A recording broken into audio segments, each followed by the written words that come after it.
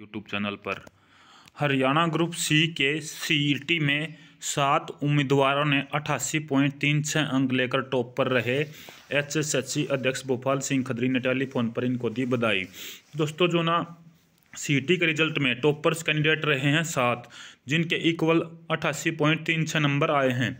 पचानवे में से आए थे दोस्तों, उसके बाद सौ में से जो है ना, ये नंबर आपके बने हैं, क्योंकि नॉर्मलाइजेशन भी हुआ था और सोशियो इकोनॉमिक क्राइटेरिया के नंबर भी जो इसमें हैं, जोड़े गए हैं। तो ये टॉप पर रहे हैं सात। नॉर्मलाइजेशन के बाद जर्नल कैटेगरी में सत्तर से ज़्यादा अंक, बाईस सौ तीन उम्मीदवारों ने हासिल किए हैं।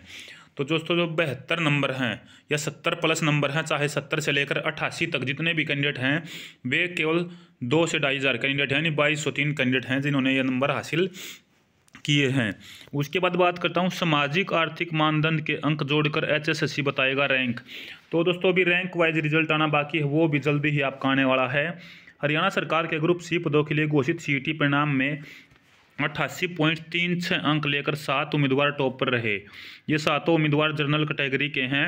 हालाँकि टॉप दस उम्मीदवारों के नॉर्मलाइजेशन के बाद भी अंक बराबर हैं, मगर तीन उम्मीदवारों को सामाजिक, आर्थिक मानदंड के अंक नहीं मिले। हरियाणा कर्मचारी चयन आयोग के अध्यक्ष गोपाल सिंह खत्री ने इन पर दस को फ़ोन कर बधाई दी है। अध्यक्ष ने दैनिक सवेरा को बताया कि सभी पास उम्मीदवारों का रैंक आयोग की वेबसाइट पर बताया जाएगा। उन्हें बिना सामाजिक, आर्थिक मानदंड के सीईटी, लिखित परीक्षा के नॉर्मलाइजेशन के बाद प्राप्त अंकों के आधार पर उम्मीदवारों की संख्या के आंकड़े मंगलवार को जारी किए गए। जनरल कैटेगरी में सत्तर से तिरासी पॉइंट पाँच छः तक बाईस सौ तीन उम्मीदवारों ने अंक प्राप्त किए हैं। दैनिक सवेरा के पूछने पर अध्यक्ष ने बताया कि अभी सामाजिक, आर्थिक मानदंड के अंक वेरीफाई होने के बाद इन लिखित परीक्षा के अंक में जोड़े जाएँगे। उसके बाद सभी पास उम्मीदवारों का रैंक वेबसाइट पर अपलोड किया जाएगा। ग्रुप सी पदों के विज्ञापन में भी अभी दो सप्ताह का समय लग सकता है। तो जल्दी ही लगभग ये मान के चलिए, पंद्रह बीस दिन के अंदर ग्रुप सी के विज्ञापन जारी होने वाले हैं। सीईटी स्कोर की त्रुटियाँ दूर करने के लिए पोर्टल पर जारी होने में दो तीन दिन लगेंगे।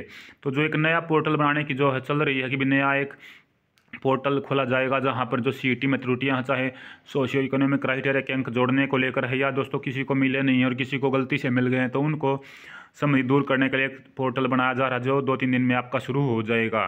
दैनिक सवेरा ने पूछा कि सीईटी स्कोर में सामाजिक आर्थिक मानदंड के अंक गलत मिलने या न मिलने जैसी त्रुटियाँ ठीक करने के लिए जो पोर्टल जारी होना था, उसमें कितना समय लगेगा? तो अध्यक्ष भोपाल सिंह खदरी ने जवाब दिया कि अप्लीकेशन तैयार की जा रही है ट्रायल देखा गया है, उसमें कुछ सुधार की आवश्यकता थी, इसलिए दो तीन दिन यह पोर्टल जारी करने में लग जाएँगे। उन्होंने कहा कि जितने भी उम्मीदवारों ने सी पास किया, वे सभी इस अप्लीकेशन पोर्टल पर अपनी त्रुटियाँ दूर कर सकेंगे। अगर किसी को अपनी कैटेगरी ठीक करनी है या गलत अंक मिले हैं या नहीं मिले हैं और कोई सर्टिफिकेट अपडेट करना है, परिवार में सरकारी नौकरी होने या ना होने का अपडेट करना है तो वे कर सकेंगे। उन्होंने बताया कि इसके बाद हरियाणा कर्मचारी चयन आयोग इसकी जाँच करेगा और जाँच के बाद सी स्कोर में परिवर्तन संभावित है। उन्होंने कहा कि जिन्हें सरकारी नौकरी न होने के अंक मिले हैं, वे पात्र नहीं है तो उनके अंक कट जाएँगे। इसी तरह अगर किसी को नहीं मिले हैं और उसकी इस पारिवारिक आय एक पॉइंट अस्सी लाख रुपये सालान से नीचे है तो उसे अंक मिल जाएँगे। अगर किसी को अनुभव के अंक नहीं मिले तो भी उसे अनुभव के अंक मिल जाएँगे। एच एस एस सी ने एच सी एस मेन्स परीक्षा परिणाम घोषित किया, चार सौ पच्चीस उम्मीदवारों का होगा इंटरव्यू। तो दोस्तों, कल इसके ऊपर वीडियो मैंने बनाई थी, कल शाम को ये रिज़ल्ट आया है। हरियाणा लोक सेवा आयोग H C S alliance service mains का परिणाम घोषित कर दिया गया है। टोटल तीन पेज की पी डी एफ़ थी दोस्तों हमने कल बताई थी। चार सौ पच्चीस उम्मीदवारों को साक्षात्कार के लिए योग्य पाया गया है। अब इन चार सौ पच्चीस उम्मीदवारों का दोस्तों, इंटरव्यू होगा। आयोग इसी महीने के अंत में साक्षात्कार शुरू कर सकता है, जो फरवरी के पहले सप्ताह तक चल सकते हैं। उसके तुरंत बाद अंतिम परिणाम घोषित कर दिया जाएगा। आयोग जल्द ही साक्षात्कार की तिथियाँ घोषित करेगा। उप पुलिस अधीक्षक के लिए जिन उम्मीदवारों ने ऑप्शन भरी है, वे उम्र के हिसाब से पात्र हैं। उन्हें फ़िज़िकल मेज़रमेंट टेस्ट के लिए तारीख, स्थान और जल्द समय बताया जाएगा। यानी कि इसी में दोस्तों पुलिस अधीक्षक का जिन्होंने भरा है तो उनका जो है ना, एक नॉर्मल फ़िज़िकल मेज़रमेंट टेस्ट भी होगा।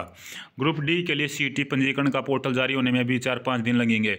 तो दोस्तों, जो ग्रुप डी का पोर्टल पंजीकरण है, एक बार फिर से वो ओपन किया जाएगा लगभग वन वीक के लिए, कि जो रहता है वो अपना दोबारा से पंजीकरण करा सकता है, या किसी को लगता है कि भी उसका गलत हो गया था तो वो भी उसमें सुधार कर सकता है।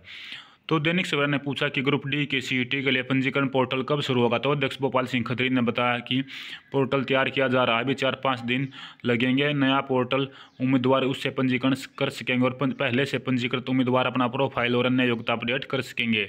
उन्हें बताया कि ग्रुप डी के लिए सी संभावित है।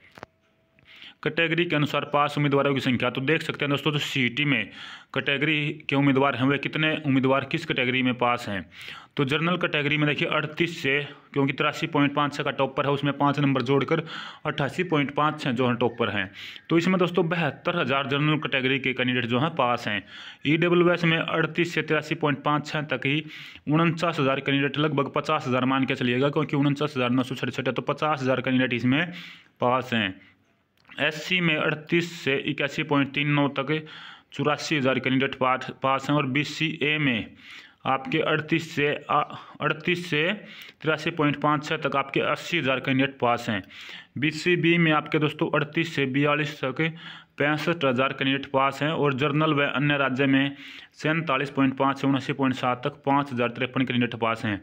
तो इस तरह मिलाकर कुल तीन लाख सत्तावन हज़ार पाँच सौ बासठ कैंडिडेट इसमें पास हुए हैं। नॉर्मलाइजेशन के बाद अंकों के ग्रुपों के अनुसार पास उम्मीदवारों की संख्या आप यहाँ से देख सकते हैं नंबरों के अनुसार दोस्तों। अलग अलग कास्ट में, जैसे जर्नल कैटेगरी में अंक सत्तर से तिरासी तक हैं, बाईस सौ तीन है, फिर जर्नल में ही साठ से उनहत्तर के बीच आपके। जर्नल में ही सोलह हज़ार कैंडिडेट हैं और जर्नल में ही पचास से उनसठ के बीच आपके दोस्तों हैं उनतालीस हज़ार कैंडिडेट। उसके बाद जर्नल में ही अड़तीस से उनचास के बीच हैं चौदह हज़ार कैंडिडेट, यानी पासिंग मार्क्स जिनके हैं बस हैं। ई डब्ल्यू एस में सत्तर से तिरासी तक हैं, बारह सौ आठ ई डब्ल्यू एस में ही साठ से उनहत्तर के सात हज़ार कुछ हैं। ई डब्ल्यू एस में पचास से उनसठ, सोलह हज़ार कुछ है दोस्तों। और ई डब्ल्यू एस में ही अड़तीस से उनचास तक आपके चौबीस हज़ार कुछ हैं। अब एस सी की बात करते हैं एस सी में सत्तर से इक्यासी, एक सौ तिरासी, साठ से उनहत्तर, अड़तीस सौ सत्रह, पचास से उनसठ तक अठारह हज़ार सात सौ कुछ। और एस सी में दोस्तों अड़तीस से उनचास यानी केवल जो पासिंग पॉइंट हैं, वे दोस्तों सबसे ज़्यादा हैं, इकसठ हज़ार नौ सौ बारह। उसके बाद बी सी ए में सत्तर से तिरासी छः सौ छब्बीस, साठ से उनहत्तर छः हज़ार छः सौ पंद्रह। और बी सी ए में आपका दोस्तों, साठ से उनहत्तर तक छः हज़ार पंद्रह, पचास से उनसठ तक हैं, बीस हज़ार नौ सौ पचहत्तर। इसी तरीके से बात करता हूँ बी सी बी में तो सत्तर से बयासी, सत्तर से बयासी में दोस्तों केवल सात सौ अड़सठ कैंडिडेट हैं बी सी बी में। साठ से उनहत्तर तक आपके छः हज़ार आठ सौ उनतालीस कैंडिडेट हैं बी सी बी में छः हज़ार आठ सौ उनतालीस। बी सी बी में आपके हैं जो पचास से उनसठ तक हैं तो अठारह हज़ार चार सौ चौहत्तर इसमें हैं। बी सी बी में ही अड़तीस से उनचास तक आपके अड़तीस हज़ार नौ सौ छिहत्तर। तो ये सबसे ज़्यादा कैंडिडेट यहाँ है। जनरल वन्य राज्य में देखें तो दोस्तों, इनकी ज़्यादा डिमांड नहीं है, लेकिन ये है कि भी जो पास कैंडिडेट हैं वो बहुत ही कम है। अगर सभी को मौका मिलता है, जो सीटी को क्वालिफाई किया जाता तो ये है कि भी बहुत ही कम कंपटीशन होगा। और चार गुना में तो दोस्तों बिल्कुल ही कम कंपटीशन होगा। क्योंकि अगर जर्नल की बात करता हूँ तो लगभग सत्तर से ऊपर लिस्ट होगी। तो केवल बाईस सौ तीन कैंडिडेट हैं, लगभग आप ये मान के चलिएगा, पैंसठ हज़ार वैकेंसी ग्रुप सी की। टोटल ही पैंसठ हज़ार, यानी एक लाख के तकरीबन वैकेंसी आप मान के चलिएगा, इस साल में भर्ती होनी है। तो लगभग जो ना, बहुत सारे जो कैंडिडेट हैं, जो जिन्होंने सीटी में टॉप किया, अच्छे नंबर आए हैं, उनके जॉब लगना इस साल में दोनों स्वाभाविक हैं। अगर वे अपनी रेगुलर तैयारी करते रहेंगे तो। वीडियो को ज़्यादा से ज़्यादा शेयर कर देना, चैनल को सब्सक्राइब कर लेना। दोस्तों, क्योंकि आपका एक एक लाइक, शेयर, सब्सक्राइब मोटिवेट करता है हमें नेक्स्ट वीडियो, नेक्स्ट इन्फॉर्मेशन आप तक पहुँचाने के लिए।